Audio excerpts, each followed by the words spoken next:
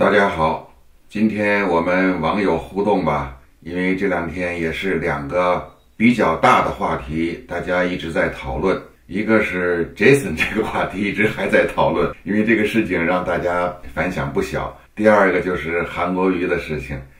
我们先看看 Jason 这个事情吧。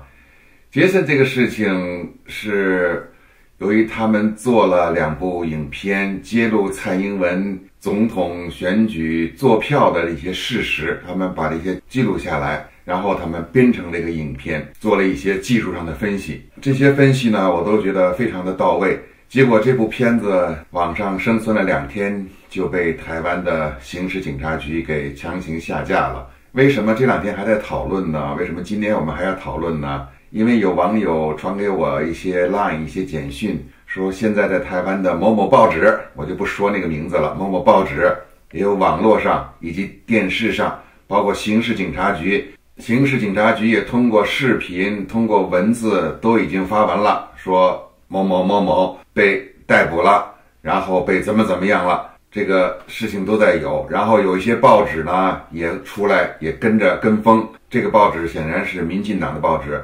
就是说，如果再有这样的现象的话，将罚款，将怎么怎么着，怎么怎么着，哈，就是一个重锤，是这样的东西。所以这两天呢，大家纷纷的来信在讨论，有人问我，就说目前杰森怎么样？那我呢，为这个事情呢，我也刚才跟杰森又沟通了一下，我问了一下他的现在的情况是不是还安全，另外他自己呢，今后未来应该怎么做？所以目前我能得到的信息就是，目前杰森他还安全，他还能跟我们保持差不多，每天都会和杰森我保持一个简单的沟通。我知道他还安全的在生活，我知道他还在台湾，但我们想了解这个事情，看看我们再跟踪一下，到底这个台湾政府他想对杰森想干什么？台湾政府比较难的就是杰森他现在是美国公民，他持的是美国护照。他不是台湾人，他不是台湾公民，因此我觉得在这个情况下，杰森目前我对他的安全暂时我觉得可能问题不大，因为蔡政府想要去干掉一个美国人，这个惊动可就大了，并且呢，杰森也告诉我他已经给美国总统 Donald Trump 写了一封信了，我有他这封信的全部内容，我也看了一下这封信。主要就是说，Jason 他认为，他作为一个美国人，他认为台湾是这种情况。他认为，以他的认知，我们一个美国人把台湾过去其实定义为是一个民主社会，现在发生了这样的一个现象，他是希望把这个事情呢讲给美国总统 Donald Trump 去跟他讲一下。那这个动作。他做了。目前呢，我问了一下 Jason，我说：“呃，Donald Trump 有给你回信吗？”他说：“现在还没有接到回信，情况大概是这样哈。”所以我觉得，通过这个事情呢，我可以感觉到，第一，Jason 呢，他没有屈服于蔡英文政权的对他的打压。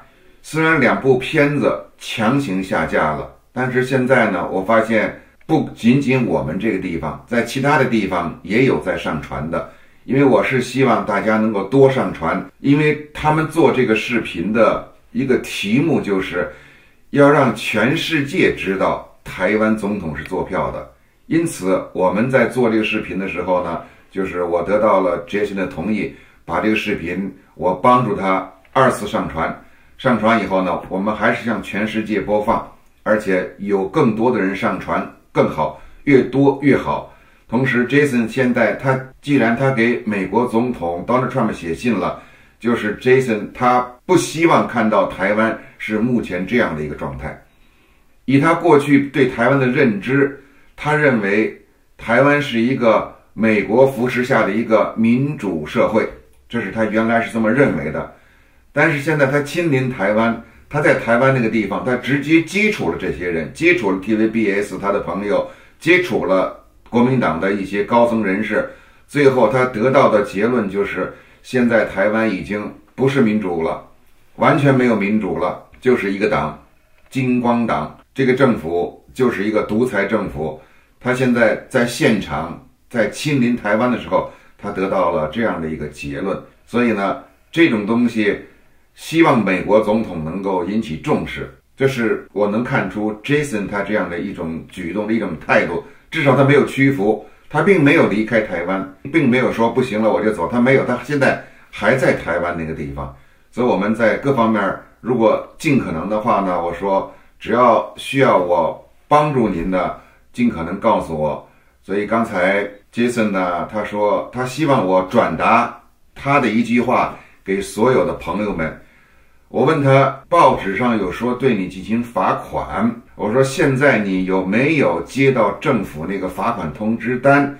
如果你接到了，请你传给我，我向全世界公布。杰森说还没有接到，所以他希望把这句话呢传达给大家。目前那些报纸也好，什么那些视频也好，他们说对杰森的处罚杰森他认为应该是借此对台湾人民的一种恐吓，就是说，你看我这个人都这样了，如果怎么怎么样了，我就对你怎么怎么样，什么罚款三万都出来了，类似这样的东西啊。所以呢，在这种情况下，我就。第一时间和 Jason 保持了一下沟通，我要得到一手材料，我要确认他们这些报社这些文章，他们说的是不是真的。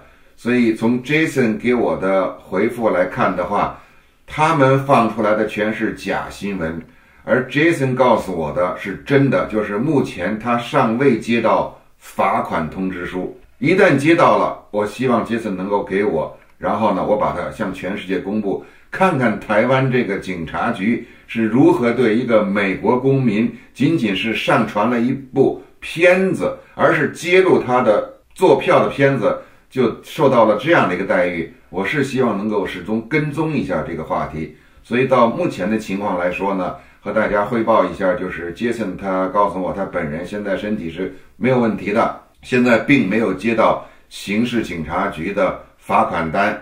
并且他也说，他说这个罚款单呢，也许不是来自于刑事警察局，也许是来自于另外一个什么地方，现在他还不知道，至少暂时还没有接到。另外，他也看出来，他认为在台湾现在政府透过媒体放的所有的消息，都是在恐吓老百姓，恐吓你们不许再干，如果再干的话就怎么怎么着。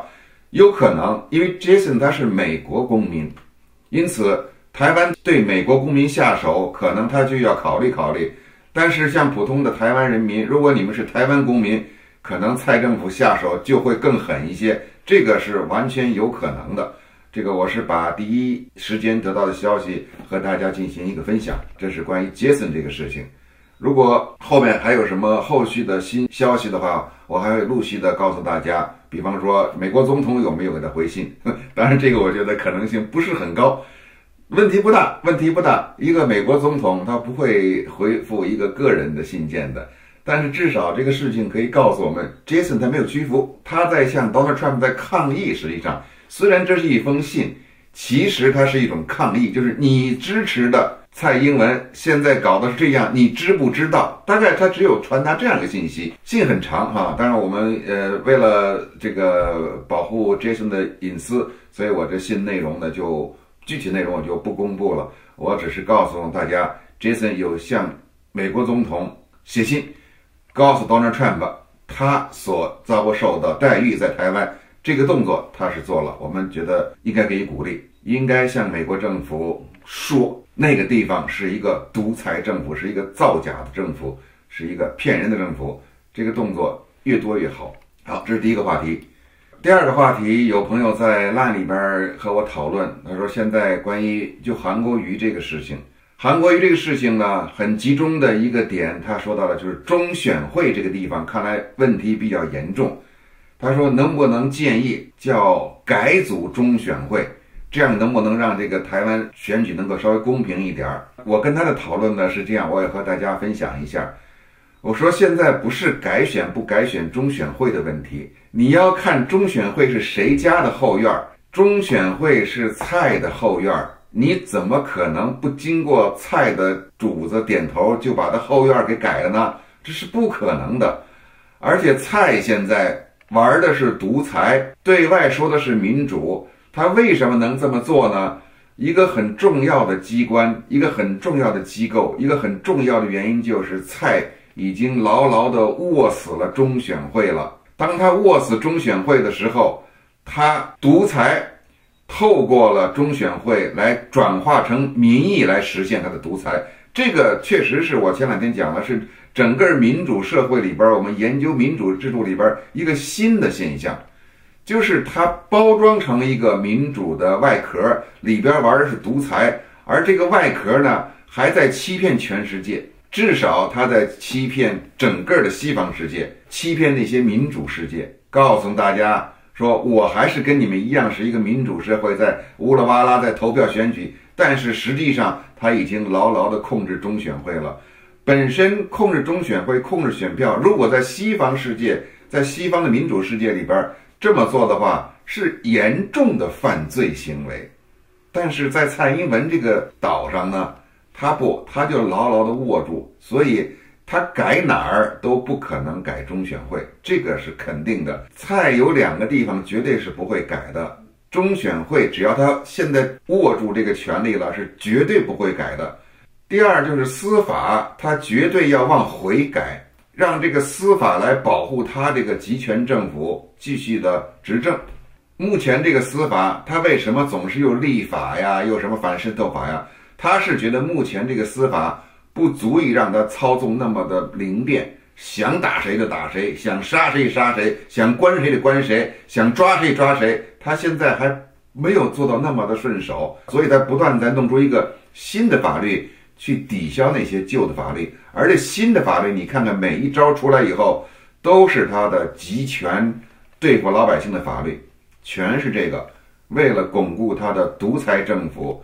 这个是很重要的一个点，因此呢，改中选会不可能改，要把这个蔡英文把它改掉，要把这个人给他给他罢下去，要换上一个真正能够实现民主法治的一个领导人，这个是很重要的。而蔡，他不会这么轻易的去放弃他政权的。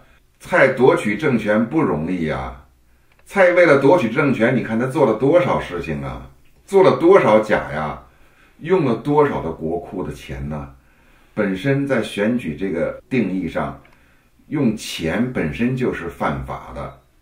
蔡政府用了多少钱？用网军本身就是犯法的。蔡用了多少的网军？在所有的开投票所这种作弊本身就是犯法的。蔡做了多少？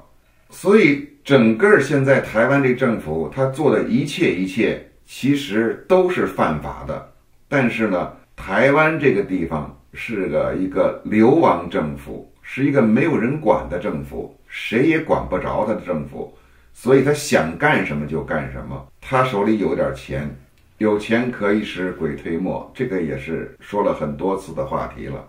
所以这位网友呢，他给我传的简讯呢，他认为改变中选会就能够改变什么什么，我觉得这是不可能的。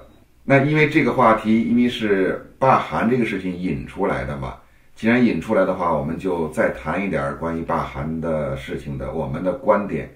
罢韩这个事情两天过去了，我们虽然是看到韩国瑜的律师替他向法院提出停止罢韩投票这个动作，虽然是这样提出来了，但是。我想，韩国瑜身边的律师以及韩国瑜这些人在台湾这块地方生存了一辈子了，他们应该比我们这种人更了解台湾的法律吧？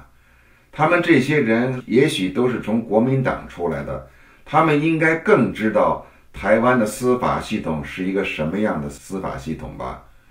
他们现在拼命的推韩国瑜。走司法这个程序，难道他们手里边就没有估算一下这一步棋胜算的几率有多少？难道他们没有估吗？我是认为，如果问我的话，很多网友都问我你怎么看？如果问我的话，我是认为走司法这条路，它胜算百分之五都不到。为什么我还是留百分之五呢？我只是希望能够看到有一个法官是不是能够站出来说话，是不是可以这样？百分之九十五，其实我都认为走这条路基本上是等于零，基本上属于不可能的。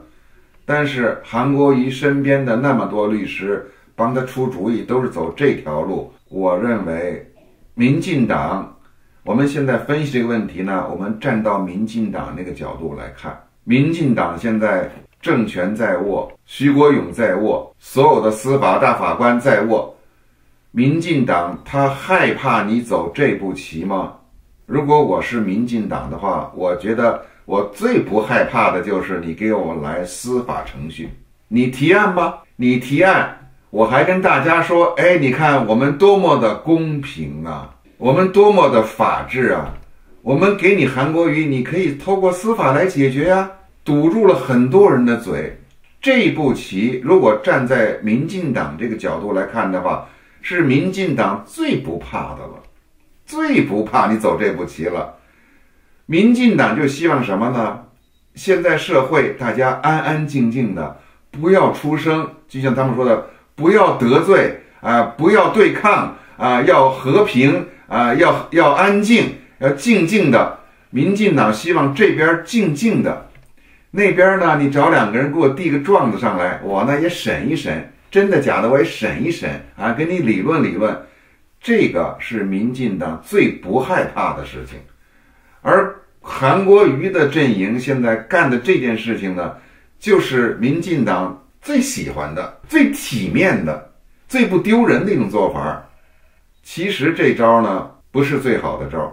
民进党前不久在网络上放了多少的消息，透过那些过去的直播主。透过了所有的“一四五零”网军，在网络上大面积的封杀，封杀什么？大家还记得吗？封杀就是在罢韩那天不要去投票，让投票所没有人，而且到门口去监票去数票，数你一共走进这个投票站走进了多少人，我把这个总数记下来，然后跟他最后坐票那数字相对。如果每个投票所都把这录影录起来，都记录下来了，我就摁那记码器，一个、两个、三个、四个，我就摁，摁的时候我自个儿在拍。只要我摁下来，一共走进去了多少个人，这个民进党的坐票就直接破掉了。现在民进党其实最害怕的是这个，民进党第二害怕的是什么呢？红衫军运动，这个是他非常害怕的。因为当年陈水扁就是被这个红衫军运动给搞的是晕头转向、一头雾水，所以就这几个招来说，如果我们站在坐在蔡英文这个位置上来看怎么对付韩国瑜的话，有这么多的方法，对方有这么多的策略，而民进党喜欢什么呢？假装的告诉大家，我们是一个民主社会，我们是一个法治社会，你有什么意见，你可以透过司法来解决。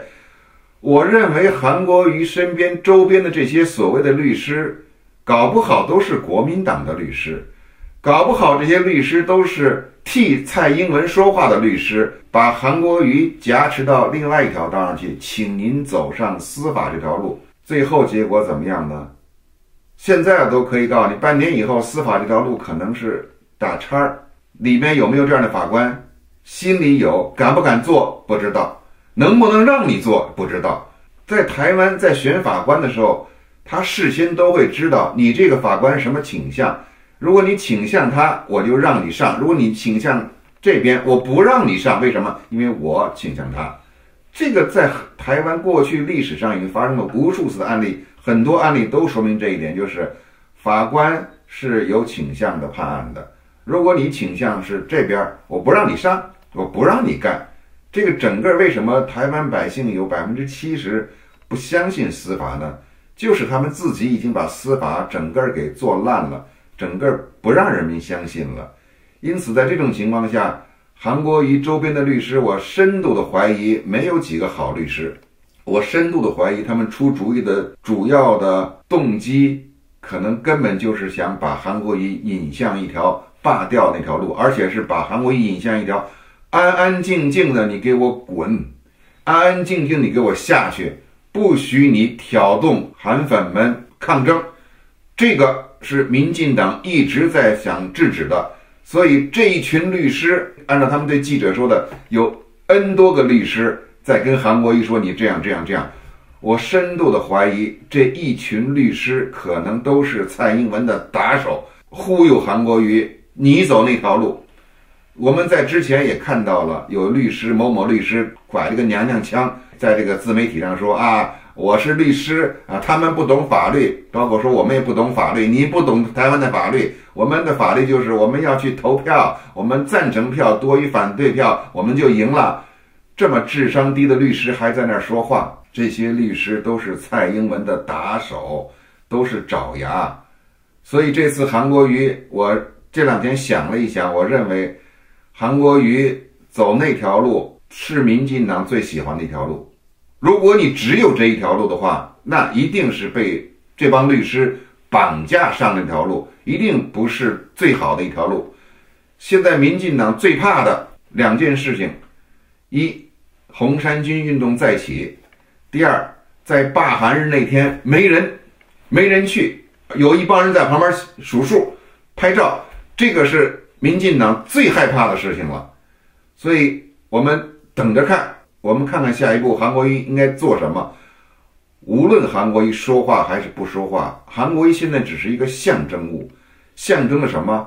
象征在台湾，在高雄这个地方，是不是要让民进党这么横行霸道，这么作恶多端，这么公开的做票去做掉一个市长？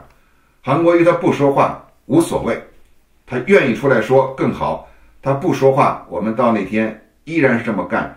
人民战争面对的是一个邪恶的政权，这个邪恶的政权，他这次要做票，他这三十几万的联署书到现在都不敢公布，他都不能公布，他不可能公布，这个都是假的。既然现在一路下来都是假的，最后那个还是假的，台湾人一定要站出来揭露，就像杰森他们做这部影片似的。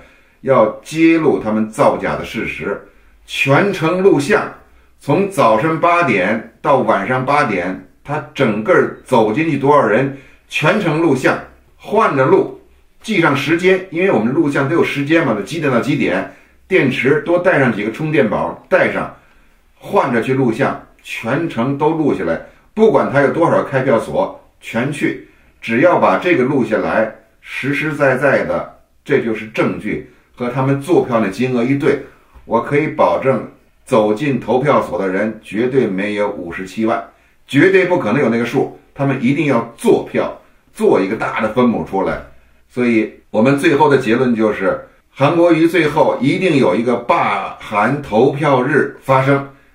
前面不管你做什么努力，不管是你司法什么怎么怎么着也好，中选会怎么怎么也好，我可以告诉你，全没用。一定会出现一个罢韩日投票日那一天，我们等着那天的日子出来，我们再说话。好，今天说到这儿，谢谢大家，再见。